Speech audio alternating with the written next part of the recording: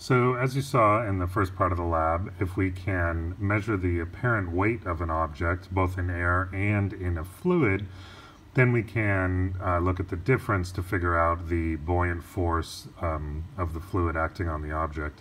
So the way we do that in a lab is with a two-pan balance like this. Um, this is basically a seesaw, so if you press down on one side, the other side goes up. Um, operates on a fulcrum right in here that's sort of running front to back.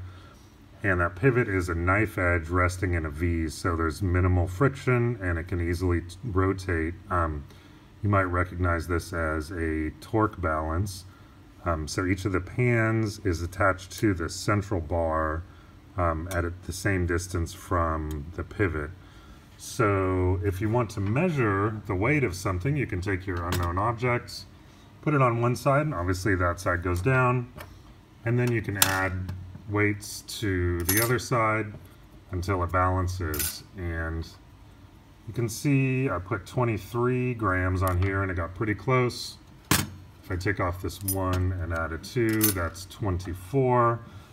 And now it's pretty close, but um, I think we'll see the balance is actually a little to the right.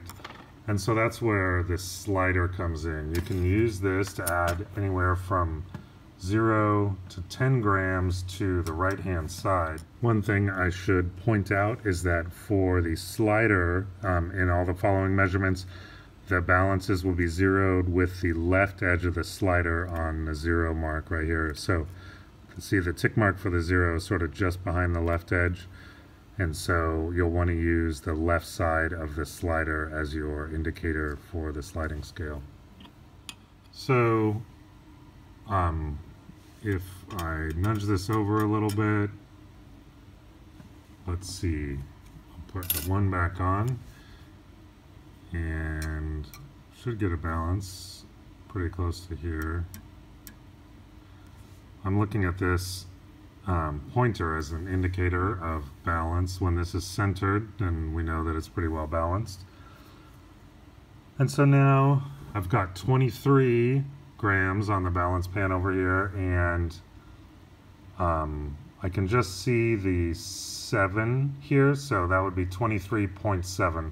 Like I said, you can slide this and add anywhere from 0 to about 10 grams. So um, if I take this stuff off, reset it to zero, the final thing you need to know to set this up is that there are these two uh, locking thumb screws right here that you can use to adjust the zero. So if you have a small, you know, a paper sleeve or something that you wanted to subtract out, you could put it on here um, and adjust the zero to compensate for it so that you don't have to do the math to subtract it out.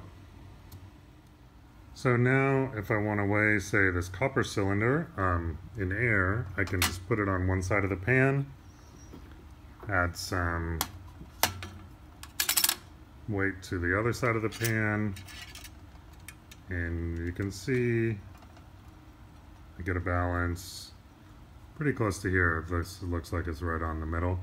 And so that would be 60 in the pan plus 5.5 on the slider, so a total of 65.5 grams for the cylinder, but the pan on the left is also connected to a hook underneath, and so you can see that it balances just as well with the copper cylinder hanging suspended from that hook. And so now I can submerge it in water and weigh it this way.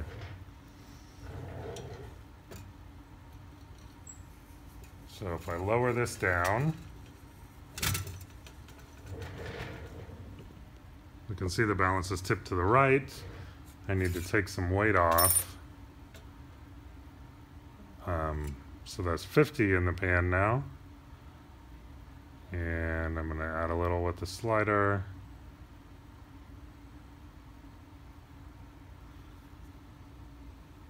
And that's pretty close to balanced. It looks like we're going to be at about 57.8 or so for the cylinder while it's submerged in the water. And now to measure volumes for our samples, um, we can just take a graduated cylinder, note the fluid level before, and then submerge the sample in there and look at the difference. And I'll try and get some good uh, close-up pictures so that we can get good determinations of the fluid levels that way. So you may have heard something about this in chemistry lab, but when you have a fluid in a container, the interplay between the cohesion of the fluid, that is the liquid molecules being attracted to each other, and the adhesion of the fluid to the surface of the container, um, the balance of those along with gravity determines the nature of that interface. And you can get capillary action and in general the formation of a curved meniscus surface at the fluid. So when you're measuring the level in a graduated cylinder, you should always read at the center of the tube and not at the edge because that's the least sensitive to contaminants in the fluid or on the surface.